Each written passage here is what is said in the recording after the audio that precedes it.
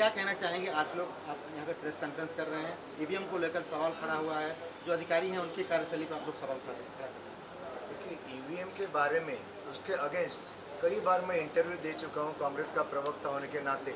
लेकिन पहली बार मैं ये अनुभव कर चुका हूँ, देशर विधानसभा का मैं कांग्रेस पार्टी का उम्मीदवार हूँ। कल मैंने मेरी आँखों से घोटाला क्या होता है ईवीएम का, वो मैं देख चुका। जैसे कि कल हमारे देशर विधानसभा में काउंटिंग जब शुरू हुआ तो पहला राउंड हुआ, दूसरा राउंड हुआ, और सेकेंड राउंड में ही बोगस मशीन पकड़ी गई।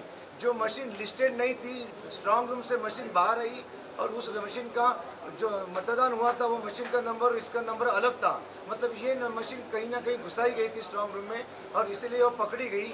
वो मशीन हमने आरओ जो थे, हरिश्चंद्र पाटिल और ऑब्जर्वर दिल्ली से आए थे, उनके टेबल पर जाके रखी, उनको बताया गया, उन्होंने उसको एक्सेप्ट किया। बोलते, ठीक है, ये मशीन कुछ अलग आई हम लोग देखते हैं इसके ऊपर क्या करने का। अपने ताबे में उन्होंने ली, उसको सील किया नहीं। एक राउंड होने के बाद वापस दूसरी मशीन पकड़ी गई, जिसका नंबर अलग था और एक्चुअल नंबर अलग था। सेकेंड नंबर मशीन भी हमने उनके टेबल पर रखी, तब हम हमारा जो शक था, वो शक बहुत बदली, बदलने लगा। कुछ देर बाद और एक मशीन में घोटाला पाया जिसका नंबर अलग था, उसमें जिसमें वोट अलग थे। फॉर्म नंबर 17 के ऊपर वोट ज़ीरो थे और इसके मशीन में वोट जो है वो 500 से ज़्यादा थे। उस वक्त हम सब लोगों ने तय किया कि अभी ये कुछ घोटाला नक्की है इसलिए बार बार मशीन अलग आ रही है नंबर अलग आ रहा है, बस उसके अंदर वोट अलग आ रहे हैं। उसी प्रकार से उन्होंने, उनको पहले, एक दिन पहले उन्होंने इस मतदान केंद्र में केबल लाइन डाला एमटीएन वालों को बुला के।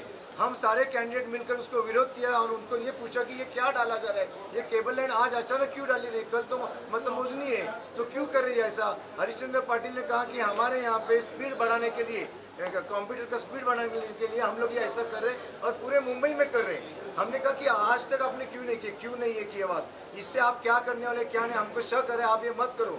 उसमें उन्होंने हमें दबाव में लिया और ये कहा कि आप गवर्नमेंट के काम में दखल अंदाजी करें, आपके ऊपर हम लोग केस करेंगे। तब हमें चुप बैठना पड़ा और उसका हमें पूरा शक है, इससे उन्होंने कुछ ना कुछ गड़बड़ी ज़रूर की है।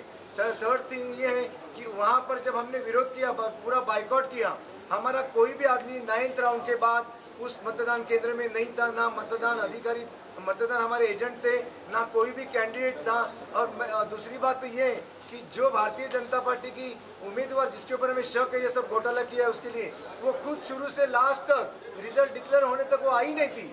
तो वो कैंडिडेट ने, हम सात कैंडिडेट ने, उसके बावजूद आपने मतमोजनी कैसे की, किसको किसके देखरेख में की? क्या सिर्फ़ हरिश्चंद्र पाटिल आर और जो दिल्ली से आए थे ऑब्जर्वर ये दो मिलकर ये मतदान प्रक्रिया प्रक्रिया पूरी करेंगे और उसके ऊपर विश्वास रखेंगे क्या?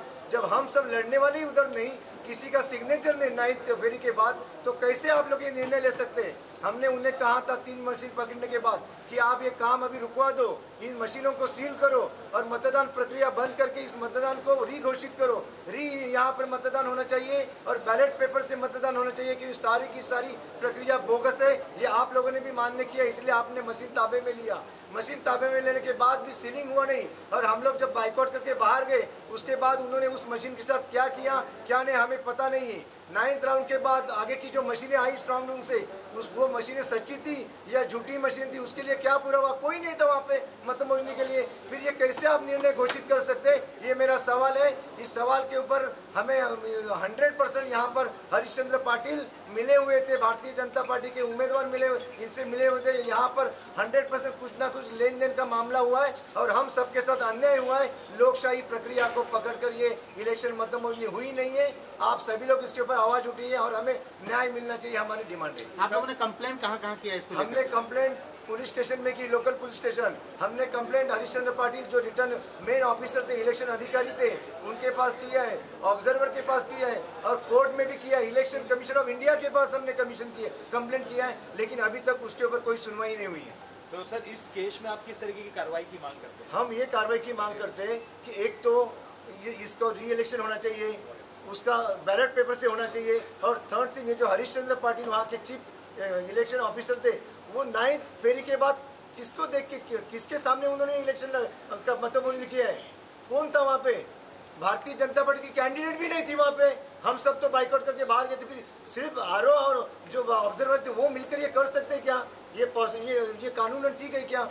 जो मशीनें नौ के बाद नाइन्थ काउंटर काउंट इसके बाद राउंड के बाद जो मशीनें स्ट्रांग रूम से बाहर आई उसका कोई नहीं वहाँ थे विटनेस था।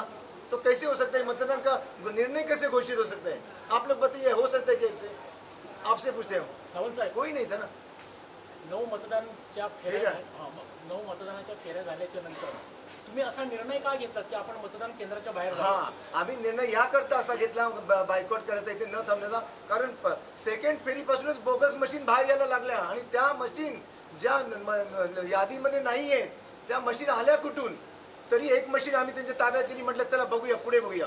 थर्ड राऊंडला परत दुसरी मशीन आली. तेव्हा संशय बाळवला ती पण मशीन आम्ही त्यांच्या टेबलवर नेऊन ठेवली. त्यांनी एक्सेप्ट केलं की हो मग या मशीनमध्ये गोंधळ आपण नंतर पाहूया. नंतर चौथी राऊंड झाली. पाचव्या राऊंडला परत एक मशीन आली जिचा नंबर इंग्लिशमधला नंबर आणि त्याचा अल्फाबेट वेगळे आढळले. मतमोजणी फॉर्म नंबर सेव्हन्टीन मधली आणि मशीन मधली वेगळी आढळली. मग मात्र आमचा विश्वास पूर्णपणे उडाला. म्हटलं नक्कीच काहीतरी घोटाळा या केंद्रात झालेला आहे. काल यांनी कसली तरी लाईन पण टाकली होती केबलची त्या केबल लाईनवर काय झालं काय माहीत नाही.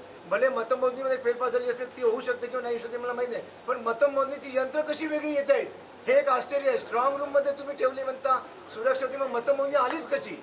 मतकेंद्र आलीच कॉन्फिडन्स आप कल भी रख सकते लेकिन वोटिंग के बाद अपनी कॉन्फ्रेंस अरे कल कैसे? कल तो हमको अंदर बंद करके रखा था पुलिस के घेरे में और मोबाइल मोबाइल बंद थे हमारे कांटेक्ट का कोई साधन नहीं था। जब वहाँ से आप निकल गए। निकल के तो हमने लिया हमने हिंदुस्तान टाइम्स वालों को बुलाया हिंदुस्तान हिंदुस्तान टाइम्स वाले आए इंडियन एक्सप्रेस वाले ले आए आप भाई साहब लोग आज आए तो आज ले रहा हूँ ओके सावंत सावंत साहेब महत्त्वाचा प्रश्न असा की तुम्ही म्हणताय की ज्या उमेदवार निवडून आल्या.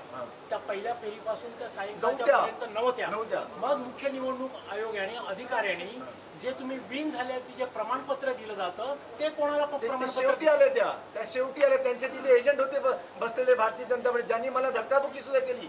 ओझा म्हणून नगरसेवक होते. त्यांचे प्रमुख तिकडचे एजंट त्यांनी माझ्या अंगावरती येऊन धक्काबुक्की केली. आप तुम्ही हे सगळं सीसीटी सीसी फुटेजमध्ये पाहू शकता.